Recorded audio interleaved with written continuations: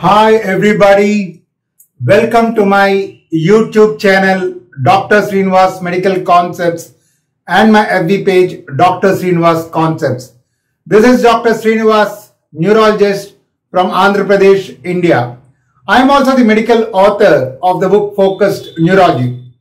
Today we are going to talk about a very very interesting and fascinating topic, the beginning of neurology and the neural tube defects the beginning of neurology and the neural tube defects. In fact, today we are going to talk about the start of the nervous system, the beginning of the nervous system. So when actually does the nervous system begin to form in the embryo?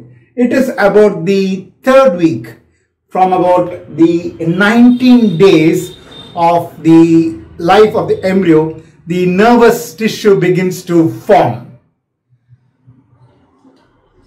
To understand neural tube defects, we need to understand the process of the beginning of the neurology and the nervous system. We have the ectoderm. In fact, the nervous system starts to form with the thickening of the ectoderm to form the neural plate. So the first point, the first step in the formation of the nervous system is the thickening of the ectoderm to form the neural plate. The neural plate then starts folding itself and a groove forms and then later the neural plate is converted into the neural tube. The neural tube begins to form about the third to fourth week. So in the neural tube we have the neural canal below which we have the notochord and the endoderm. So the first step in the formation of the nervous system is the thickening of the ectoderm to form the neural plate and then the neural plate into the neural tube. Then the neural tube starts closing starting from the midline going upwards and downwards the anterior pore and the posterior pore. So once the anterior pore closes, we have a good development of the brain and once the posterior pore closes, we have the good development of the spinal cord. Failure of the closure of the anterior pore leads to the defective formation of the brain, example encephalocele and the failure of closure of the posterior pore leads to the maldevelopment of the spinal cord like spinal dysraphism. So this is the beginning of the formation of the nervous tissue at about the third week. The thickening of the ectoderm, neural plate, the neural tube, the anterior pore closure leading to the good formation of the brain, the posterior pore closure leading to the good formation of the spinal cord. If these pores do not close, there's a persistent communication of the amniotic fluid and the spinal canal and we can detect the presence of the alpha fetoprotein, the increased levels of the alpha fetoprotein in the amniotic fluid or the serum by which we can say that the person is having neural tube defects. Right. The neural tube is primarily concerned with the formation of the nervous system. It basically contains the three layers. The innermost layer which is known as ependymal layer which gives rise to the ventricle of the brain and the central canal of the spinal cord. We have the intermediate mantle layer which gives rise to the gray matter and the outermost marginal layer which gives rise to the white matter the neurulation, the closure of the tube. As I said in the beginning of my lecture, the closure of the tube, which we call as neurulation, begins to form about the 19th day. It separates the developing nervous system from the ectoderm. So the neurulation is the closure of the neural tube and the separation of the tube from the ectoderm. The neurulation begins near the midpoint of the neural tube and advances towards the anterior port, the cephalic side, whose closure gives rise to the good development of the brain and then posterior or caudal neuropore and closure of it which gives rise to a good formation of the spinal cord. The anterior pore and the posterior pores are the last pores to get closed. The neural tube defects, the NTDs, are common congenital malformation that result from the failure of the normal neural tube closure during the early embryogenesis neural tube closure is complete by the end of the first month. So it begins at around the 19th day and is almost complete by the end of the one month. So much so that most of the ladies do not even know that they are pregnant. Even before they realize that they are pregnant, the nervous system is, the neural tube is formed by the end of the first month. And sometimes the ladies, they do not even realize that they are pregnant, leave alone the neural tube defects. Right, having understood the basic summary, the startup, now let's go to the details of the neural tube defects. As I said, the neural tube defects can be broadly classified into two types. The upper type, the anterior pore or the encephalocele, where there is a defective formation of the brain, or the lower type, the posterior pore or the defects concerned with the spinal cord, example spinal dysraphism. So we have the upper type where we have the malformation of the brain and we have the lower type where we have the malformation of the spinal cord. Now let's see the differences between these two. The failure of closure of the anterior pore gives rise to the upper type of the neural tube defects and the failure of the closure of the posterior pore gives rise to the maldevelopment of the lower type or the spinal dysraphism. In the upper type, the brain fails to form well and the lower type it appears to affect the lumbosacral cord, the spinal cord.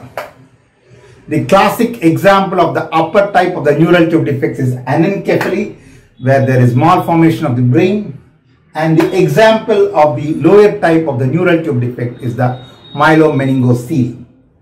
The clinical fact features in the anterior pore defects or the upper type defects, there will be polyhydramnios. There will be polyhydramnios, accumulation of fluid because they have difficulty in swallowing.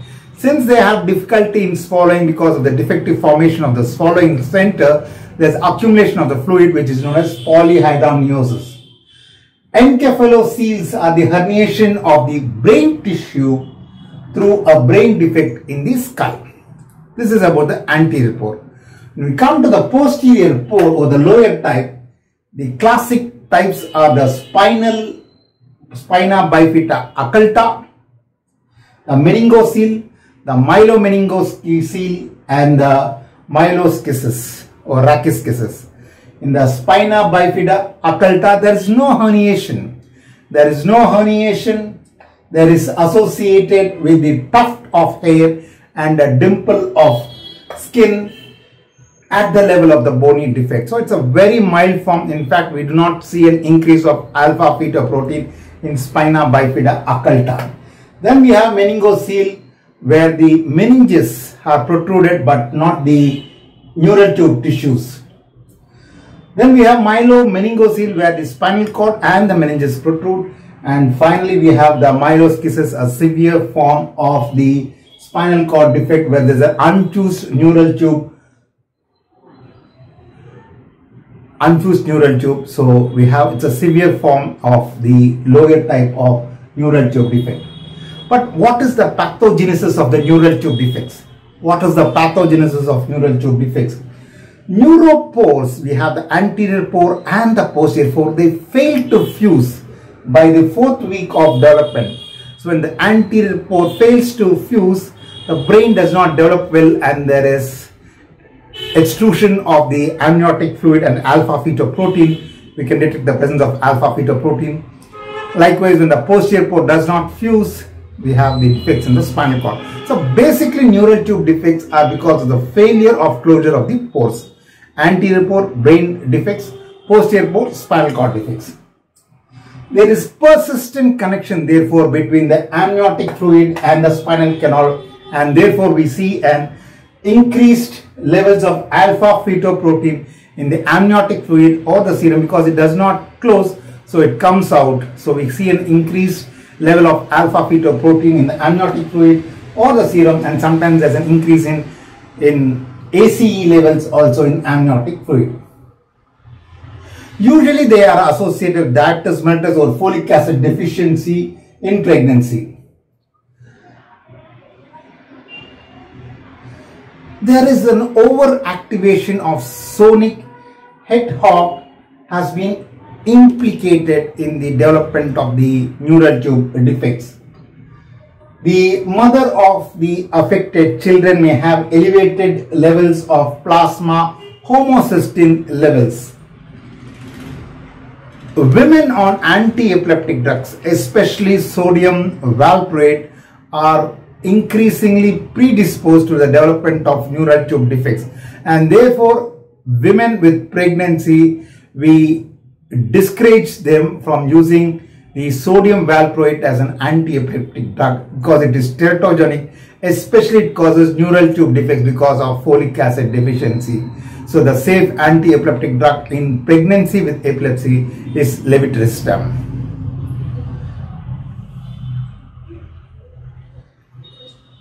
we have anterior pore defects and posterior pore defects. Sometimes there can be combined anterior pore and posterior pore defects like Arnold-Chiari malformation.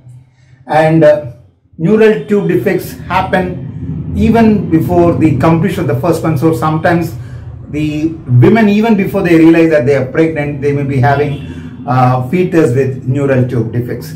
So the neural tube, the formation of the neural tube from the neural plate and the thickening of the ectoderm, this is the beginning of the formation of the nervous tissue and the neurology. So the beginning of neurology starts with the thickening of the ectoderm and formation of neural tube and if there is malformation of neural tube it gives rise to neural tube defects. In fact neural defect neural tube defects are the are the most beginning or the most early development or maldevelopment of the nervous tissue. So the most early or the earliest maldevelopment or early diseases of the nervous system are the neural tube defects and they occur between around 19 to 26 days. So the earliest neural tube defects, the earliest nervous tissue defects are the neural tube defects.